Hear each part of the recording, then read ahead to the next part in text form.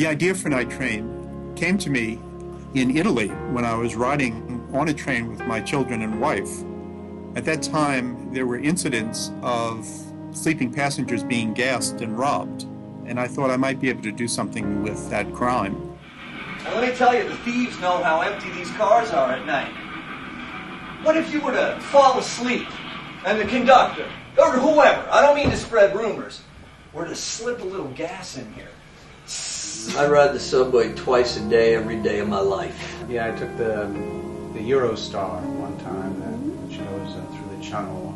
Trains have remained in my entire life my favorite way to travel. When I was a child, we went from New Orleans to New York on the Southerner. I had coffee with cream for the first time in my life. And every time I've had the choice, I've always chosen the train.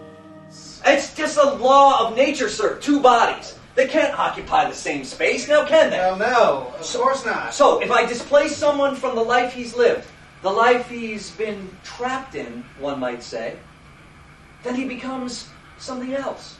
I was invited to the National Theatre in London to develop Night Train. And when I finished that project, it seemed to me New Jersey Rep would be exactly the right place to have Night Train performed.